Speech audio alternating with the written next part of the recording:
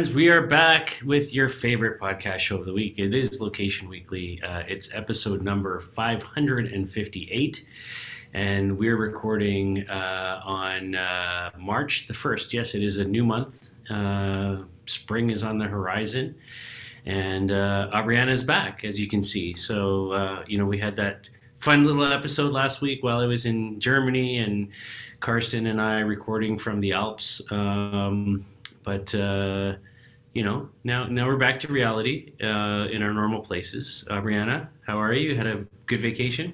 I did. I'm I'm good. Yeah, you were you were uh, you know in the Alps, and I was um, on the beach in Dominican Republic. So um, not too shabby for either of us, right? And right. and I'm sure it was great to see Karsten as you guys sent me pictures of cheersing beers. yes. Um, so yes, I had a great vacation, feeling somewhat refreshed, you know, a little tired from travel, but it's good to be back and um, the cold wasn't too unbearable coming back to. So that's good. And spring is like on the horizon, you know, ready to plan another trip though. It's like now that I started traveling, I just I have the bug. How about you? Yeah. Yeah. well and i think like for me too like the one thing is is that i've i've noticed is like all the conferences that you know were sort of the regular things that i would be at are all coming back now so Shoptalk is back south by mm-hmm. southwest is back like all these things are are starting to happen again so my schedule is actually filling up for you know the rest of the year here pretty quickly so exciting. i know i've been seeing people posting pictures at mobile world congress and friends that are there and I'm having a little bit of fomo but next year, next year we'll we'll do that one. We'll see that. Yeah. Alrighty. Well, we have a good show for you. Four stories as usual, and uh, let Aubriana kick us off. All right. Well, for those of you who are big anime fans, this is an interesting one. Um, Sailor's Moon, which, if you're not familiar with, it's a Japanese, I guess, shojo manga series. I don't even know how you say that because I'm not into anime. I mean, I think it's really cool, but don't really have a big idea there. But this is a show that ran for a long period of time in the 90s, I guess, and you know, it's like one of those really well-known ones. And um, they have have launched this like very interesting thing. So IC cards or their contactless smart cards that they use for commuting um, in Taipei, uh, they they have this on the metro system. You know, you have like this card, and rather than having to kind of like check the fare, buy the ticket, you just like tap to pay sort of thing. So you have this like it just deducts from your prepaid balance. Um, and so Easy Card with the the Taipei Metro now is actually offering this interesting thing where you, you can buy this replica of a Sailor's Moon. Um, it's called a moon stick. And it's um, some, you know, one of the heroines, the lunar heroine, like carries this I mean, if you imagine like it's a, it looks like a kid's magic wand with like a moon on the end of it. It's very interesting. Um, but now you can actually use that. It's a fully functioning easy card. So you can just like, you know, walk with your magic wand through the metro and use that to tap to pay. You can, uh, you know, apparently you could use it at also like at a mini mart or department stores, anywhere that you have this contactless payment that you can use that accepts the easy card payments. And then the jewels light up when the when the transaction is happening. Um, so this is really interesting. You know, I was trying to think if this is something that I would like you know, walk through the the subway with in New York and just like carry around my wand, you know, tap to pay this and that. Um, probably not, but it is interesting because you know, in that culture, this is huge, right? This is a big deal. Uh, so I really expect them to to be able to like to see a lot of that happening. So if you have one, like I want to see a picture of this. I'm gonna have to kind of follow it, see if I can find something on Twitter um, of somebody using this, but it's really interesting. So it makes me think of what other contactless payment kind of icons will will kind of come out of this. Will there be something from sports teams or you know anything else that people are are really excited about? Um, but yeah, interesting one. What do you think? Yeah, I mean, having been to Japan many times over the last number of years, I mean, definitely, you know, anime and, and that whole sort of culture is a huge deal there, right? And uh, I even went to a um, like a, a dinner theater kind of thing one time where it was like all these anime characters like in a in a battle against each other while you're sitting eating dinner like sort of medieval times but you know on steroids kind of thing. Um, so it, it's massive right? And and i think that um, i think it's kind of fun. It's interesting. Um, obviously it's not something i would do but i could see people doing it there and i could see a bunch of you know girls you know wandering around with their little magic moonstick and tapping things. You know i and i think it's interesting because i think that you know translating that over here to north america like you know perhaps you know disney could do something. I mean they have their you know their um, you know their little uh, wristwatch things right? Um, and so on. But like i could see you could go around with you know you know uh, Cinderella's magic wand or you know some prince one of the princesses you know and tapping things and little girls you know getting excited about that and paying for stuff and having it light up or whatever. I mean it's got a you know a, chance that it could get out of control for the parents pretty quickly if they're tapping tapping tapping right and buying stuff. But um I, I, I think there's potential, right? I think there is potential in certain environments, you know, theme parks, things like that sure. Uh, that could be interesting. So, you know, um, who knows? But I like it. Yeah. So it sells for about sixty-five bucks uh, U.S. dollars, um, and um, yeah, who knows? Who knows? But it's interesting. It's different, at least. At least they're trying something. So, all right, on to our uh, our second story. Walmart, um, you know, has been talking a lot lately about you know sort of their announcements around becoming more digital and changing up their stores to be more interactive and all kinds of things like that. And so one of the things that they announced recently is is that they are getting heavy into live streamed shopping. And so they've created eight new themed and regularly scheduled. So these are like you know time scheduled events on the calendar, shopping events um, and uh, they've teamed up with a, a, company called Talk Shop Live to power this, which is a California startup. And uh, yeah, they're they're basically um, it's kind of like you know sort of a modern day version of QVC or Home Shopping Network or something like that, but you know brought to you by Walmart and live streamed you know, around their brands and their products and things like that. Um, you know on the internet as opposed to on you know on television. Um, so I think this is interesting. They've got a number of brands and you know celebrity social media people involved with this already. Um, they're live streaming content on you know uh, TikTok and YouTube and you know Instagram and a bunch of other platforms. Uh, the shows recently they've done like themed shows around Black History Month um, and Black founded brands you know associated with that. Uh, they've done Women Entrepreneurs Week. They've done Baby Days, um, which you know is sponsored by Pampers, you know, Procter and Gamble. So I, I, think this is interesting, right? And if you remember, uh, we we talked about a story a few weeks ago where a big shopping mall uh, was, you know, starting to create a service where the tenants within the mall could live stream their products out to audiences at home. And I, I think you know we're seeing this kind of new trend emerge where it's kind of this blend of you know if people aren't coming back out physically necessarily you know why not you know allow the bricks and mortar retailer to kind of broadcast out you know their their content their commerce uh, offerings you know to people and have them shop online that way too right um, it, it's kind of like this hybrid of you know the physical being manifested in the digital um, as opposed to like the pure play e-commerce thing. And I think it's I think it's pretty interesting, um, and I think we're going to see more and more of this uh, in the months to come. What are your thoughts? Yeah, you know, this reminded me of one that I saw. Um, it was Shop Black Friday.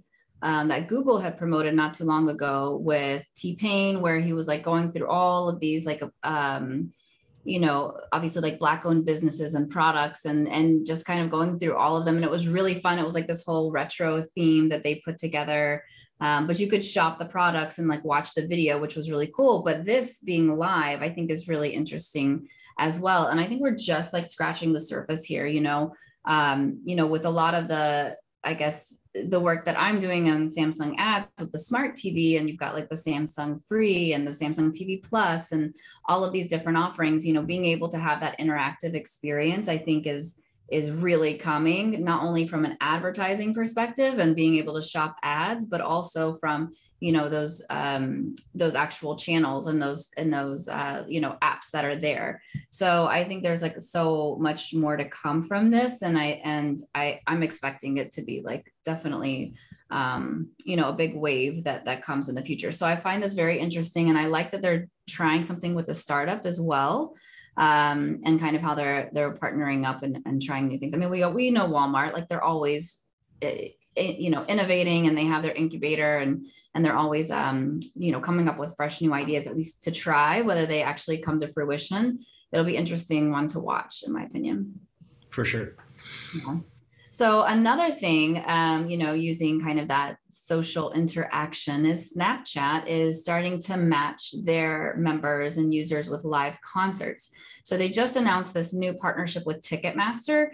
And um, basically, it's letting you know all their users stay updated around concerts, shows, and they can invite their friends, find it a little bit easier. So they have this. It's like a. It's called an in-app mini, which is like a mini, you know, app kind of a compartment within the Snap app um, and it and it functions a little bit sort of like a dating service, like a Tinder. Um, so you can curate this this local selection of shows based on your taste. So it'll have like a brief survey, um, and then they'll they'll compile this list of artists and, and you know around specific interests that you might have, and then you can swipe right or left depending if you're interested. Um, and you can also use the Snap Maps to display like upcoming concerts that are nearby. Um, you know, one thing that kind of surprised me though and this um, this announcement was that Snap actually recently had this like you know gain in users. They gained 13 million new users um, in the last quarter, and that actually surprised me with the just like mass uh, massive I guess like transition and focus on TikTok. But you know they definitely have already kind of dipped their toe in the water because recently they they had this Universal Music Group. Um, discovery tool that they had launched within the Snap app. And so now they're kind of like taking another step. So I like this. I think this is really interesting in terms of like being able to discover things that are nearby in a in a different way. Um, and also just kind of curating things to your taste. So I think this is fun. Like I would actually go on to Snapchat to use this feature maybe where instead of having to like search for everything that's coming, you know, just go through going through Ticketmaster, just searching in, you know, random areas um, or by the actual venue, being able to see everything that's nearby. Um, you know, might be really interesting. So I, I do like this feature, even though I am not an avid Snapchat user. I mean, I have the app. I can't even tell you the last time I opened it, but this might be something that I would actually open the app and use. what do you think? Yeah, I mean, I'm also not a big Snapchat user. It's not really my demographic. My my daughter and my son use it constantly. Um, so, you know, certainly, you know, they're they're targeting the under 25 demographic here is um, kind of you know the the market that they're really going after. So, uh, yeah, I think this is super useful. Like, I think uh, this is a really interesting partnership between Ticketmaster and them, and I think that, you know. Um, obviously Snapchat has you know a lot of location data you know associated with it. So kind of connectivity between the users where they are what concerts are happening around them um, i think that's that's very interesting. Um, and i think at the end of the day like you know it's not like ticketmaster has that type of engagement right with with their um, you know their subscribers or their users on their own app. I mean you tend to use at least for me anyways i tend to use ticketmaster you know when i bought a ticket and then it's sitting there in the ticketmaster you know sort of mobile wallet kind of thing right uh, for presentation. But it's not something i'm going to looking for you know other events around me. So whereas snapchat you know uh, i think is you know something that people are on all the time and engaged with it um, you know many minutes a day.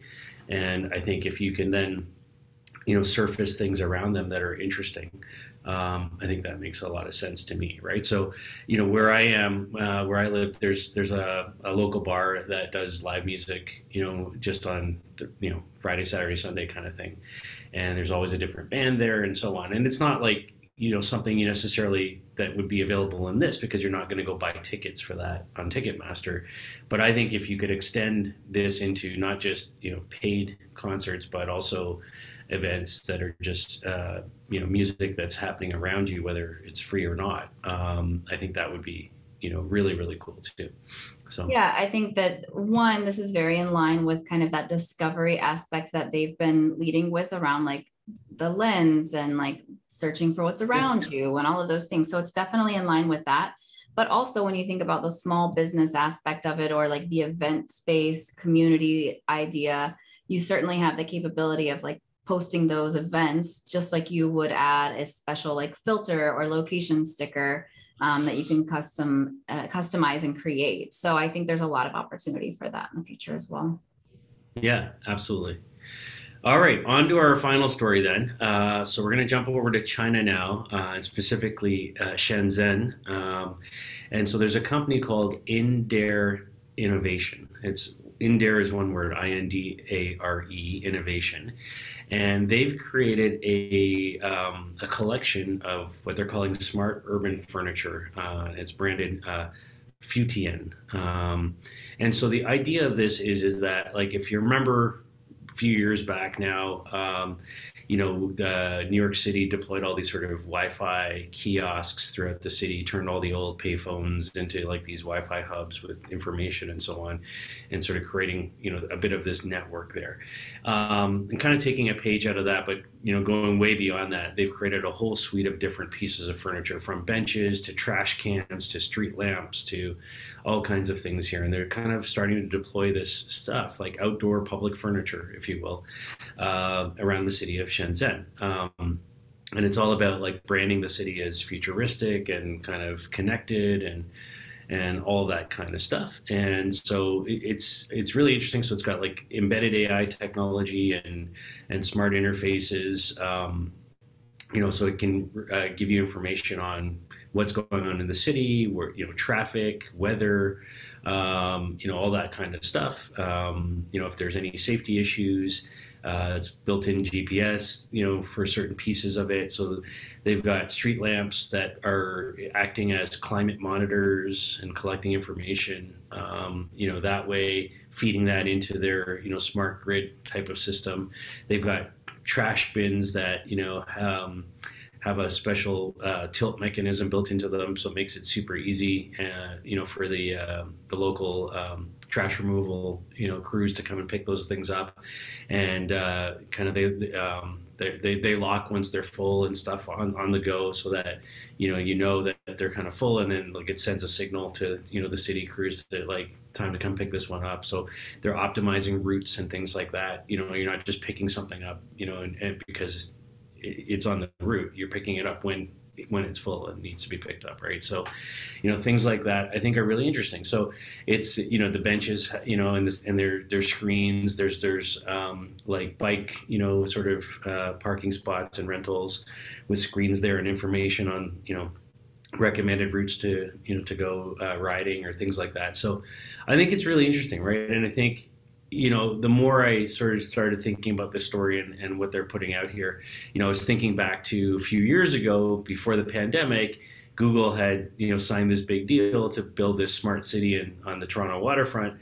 And they then, when COVID hit, they kind of, you know, killed the whole thing.